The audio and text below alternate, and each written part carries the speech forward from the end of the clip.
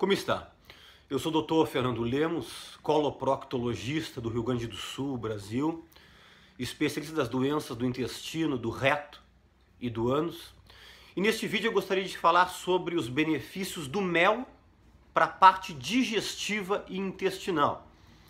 Porém, eu gostaria de fazer inicialmente uma introdução de algumas informações ou algumas curiosidades em relação a esse alimento tão falado, mas às vezes pouco consumido.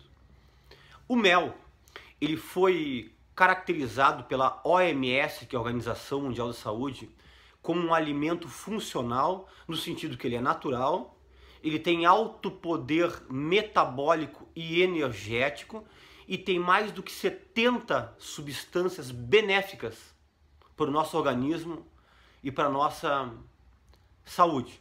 O mel ele tem poder bactericida, ele auxilia no tratamento de infecções ou pelo menos coadjuvante a tratamentos com antibióticos e muitas pessoas conseguem evitar o uso de antibióticos apenas utilizando o mel de forma adequada.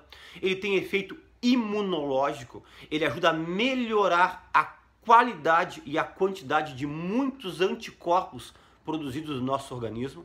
Ele tem um grande poder na parte digestiva e funcional, que isso aí logo nós iremos falar, e obviamente na parte nutricional. Algumas coisas interessantes sobre contraindicação do mel. Quem não pode usar o mel? Primeiro, cuidado com diabéticos. Às vezes as pessoas pensam assim, vários pacientes já me falaram, mas doutor, eu posso usar o mel à vontade, eu sou diabético, mas o mel é natural. O mel vem das flores, das plantas, as abelhas que produzem. Eu digo, não é bem assim. O mel, obviamente, ele é muito melhor do que o açúcar branco, do que o açúcar refinado. O açúcar, pessoal, esse refinado que vocês compram no mercado, eu sempre digo que ele é uma fonte calórica vazia.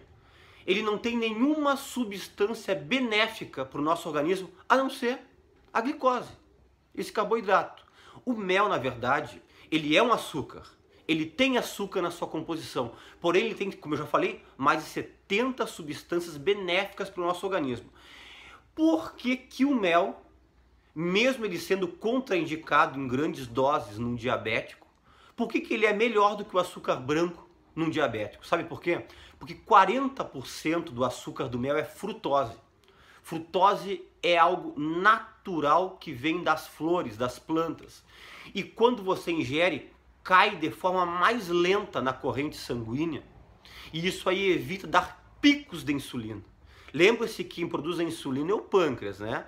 E esses picos de insulina faz o pâncreas trabalhar de forma muito intensa. E todo paciente diabético tem problemas na produção da insulina. Então, quando dá os picos de insulina, você está prejudicando mais o seu pâncreas. Por isso que picos de insulina, doces, alta carga glicêmica é ruim para paciente diabético. E o mel ele tem 40% de frutose, que é esse açúcar que evita que dá grandes picos de insulina.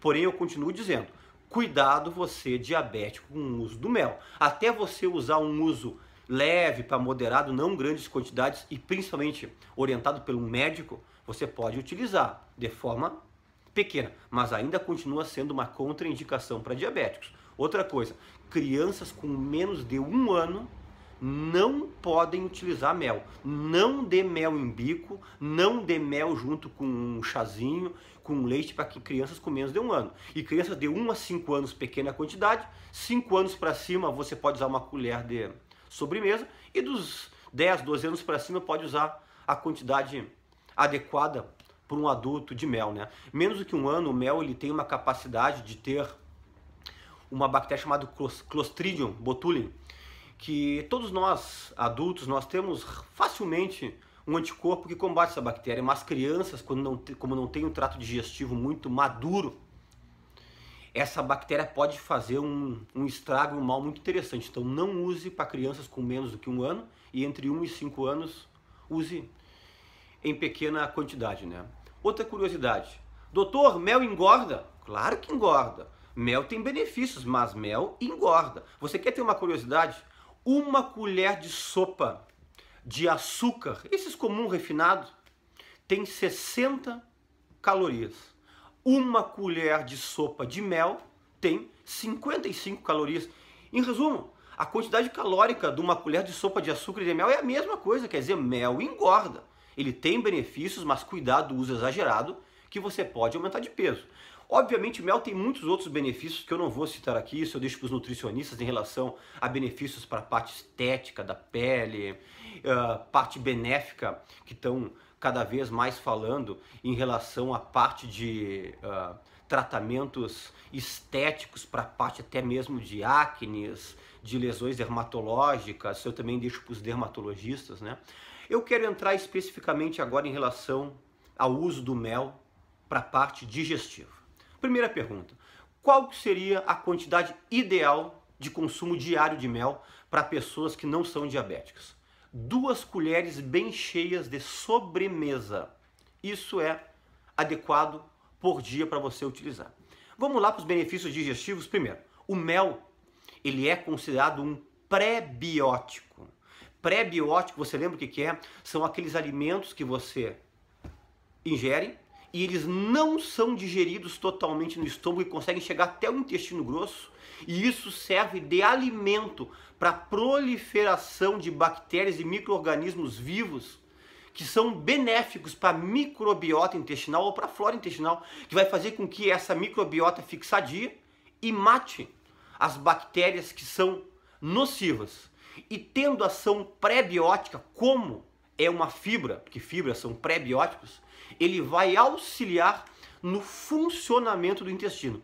Obviamente, para o funcionamento do intestino tem que ser uma quantidade um pouquinho mais de mel ao longo do dia. Eu diria entre 50 a 100 gramas de mel por dia. Então, mel ele é um pré-biótico, ele é bom para o funcionamento do intestino. Logo mais, eu vou lançar um vídeo aqui falando sobre alguns sucos funcionais com mel para funcionar bem o seu intestino. Segunda coisa, parte digestiva interessante. O mel ele é rico em triptofano.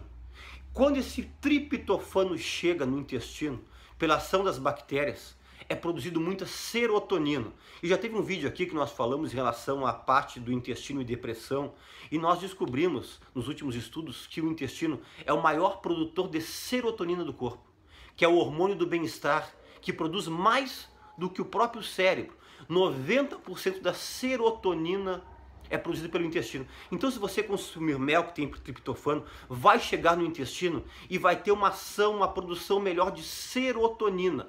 E isso na parte digestiva vai ter um efeito benéfico para irritabilidade, para estresse e para auxiliar no tratamento de depressão. Então, o mel é interessante para prevenir e auxiliar também de depressão por causa da sua ação na parte digestiva.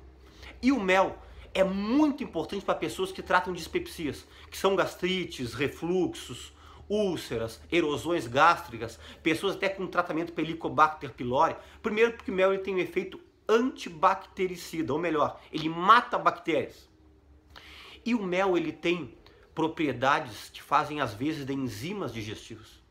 E isso aí auxilia na cicatrização de gastrites e úlceras gástricas.